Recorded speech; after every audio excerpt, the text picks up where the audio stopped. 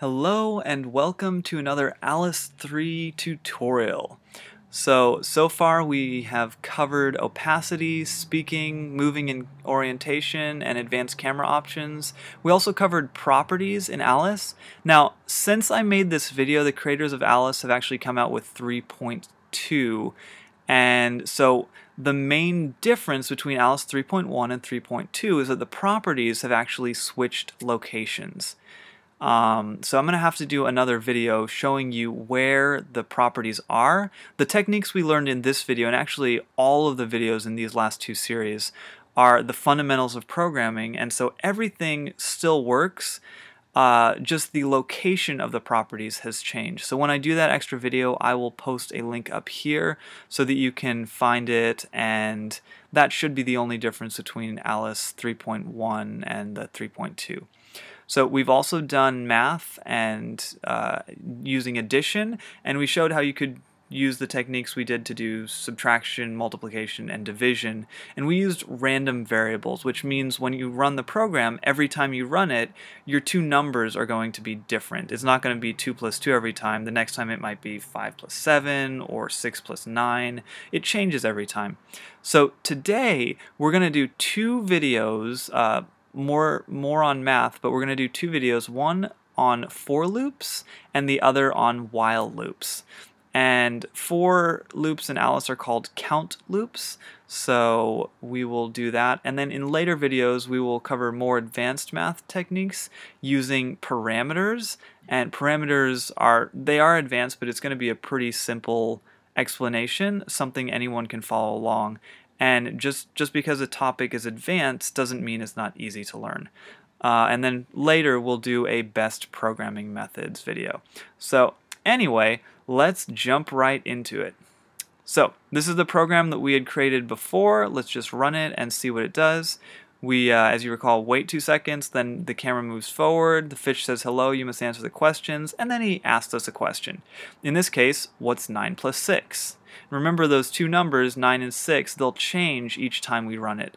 Um, so we answer 15, we click OK, he tells us we got it right, and then he says you won. And that's what we would expect if we would have gotten an incorrect answer. He would have said this option right here, sorry, that isn't correct. But at this point, our program only asks a single question. It'll be different each time, but it only asks one question. But he said you have to answer the questions. So the where we're running our program is the, the direction we're programming is we want him to ask multiple questions. However, um, we don't have that set up yet. So that's going to be what we'll do this time. Now, first I'm going to show you one technique for uh, copying a lot of code so that you can ask the question multiple times. So to do that, um, we could, uh, starting here with num1 all the way down to the if-else statement, these six blocks are the code that asks the question. First you calculate your two numbers, then you calculate the answer, then the fish asks us what is num1 plus num2, and then we enter that value into the uh, pop-up box that appears. Then finally it checks if we got the answer correct. That is, if the real answer is equal to what you entered. If it's correct, the fish says good job. If it's incorrect, he says sorry, it isn't correct. So these six blocks of code are what we need to duplicate. Now we could just right click and copy to clipboard each one of these six blocks and then they would be copied up to this clipboard in the top right corner and then we would drag it down. But if we want to ask the question, or if we want to ask three different math questions, we'll have to duplicate all six of these three different times, which is going to end up being a lot of work. So I'm going to show you first an easier approach. So I'm taking this down here at the bottom, there's the do in order. It's the first of these uh, general programming uh, blocks that are down at the bottom. So I'm going to drag that do in order up above that num1 and just drop it in. And then I'm going to drag those six blocks of code into this do in order. So I've got five and six. Now, just a quick note, do in order, all it means is do this line of code first, and then this line of code, and then this one, and this one. Do it in order. It's pretty obvious. Um, and our program isn't changed at all when we drag this in. Because actually, if you scroll up to the top of this method, see there's already a do in order? When you create a method in Alice, it automatically has a do in order up at the top, which means it's going to run this one, then this one, then this one. It'll just sequentially go down your thing. So all we've done is we've now grouped these six blocks of code together. So what I'm going to do is I'm actually going to right click on the do in order. I'll click on the do, right click on it and go to copy to clipboard. Now see there's something in this clipboard up here. And what it is, is actually, it, it shows me when I scroll over and wait a sec, it shows me it's that do in order with the six blocks of code. So I'm going to click that and drag it down to the bottom. Uh, it won't let me go down. So I'm going to put it above this do in order, drop it in, and now we've got our do in order that we just copied in and our do in order that we had before, and we were able to, with just one click of a button and a drag, we were able to copy these six blocks of code. So this is the first question he'll ask, and then the fish will ask this, which is the second question. So let's run that and see if it works. So we wait two seconds, we go forward, he appears, he says you have to answer the questions, and then he asks us the first question. What's 8 plus 5? So we enter 13, we click OK, he says, good job, you got it right, and asks us another question. Now, it's randomly choosing numbers. So it randomly chose the same two numbers. That doesn't happen all that often. Um, and it's it's just a random thing. So it's it's not going to ask you the same question every time. This is just a once in a lifetime type of thing. So we answer it again. He says, "Good job, you got it right," and then he says, "You've won." So this is great if we have a bunch of code and we want to duplicate it um, to run more than once. But what happens if we want to run this, say, 10 times? In, in this example that I've just shown you, we'd have to right click and copy to clipboard. We'd have to do that nine more or eight more times to get him to ask 10 questions. And at that point, like our code is already getting pretty long. If we actually did that, our code would be super long. So there's got to be a better way to do it. Because all we want to do is run exactly the same code multiple times. We don't want to change anything. We just want to run these six blocks of code multiple times. So there is a way to do it. But uh, let me let me show you what I'm talking about first.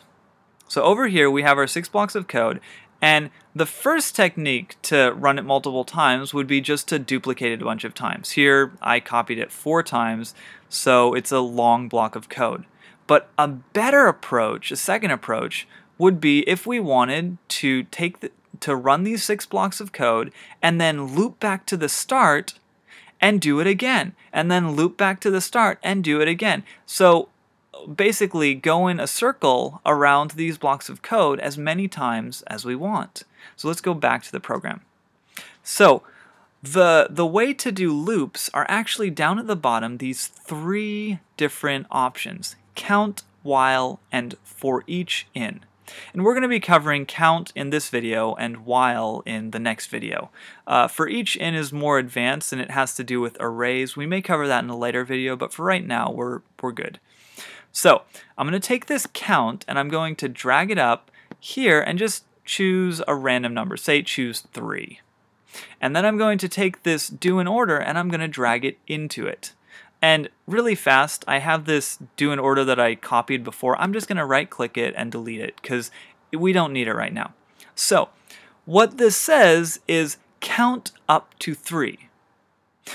And this code, these six blocks are inside. So what that means is run these six blocks three times run all six blocks. When you get down to the bottom, loop back up to the top, run it a second time, loop back up to the top, run it a third time, and then go on to whatever's next. So this is not a do in order. This is a loop where it's going to do it in order, but then it's going to loop around a couple times.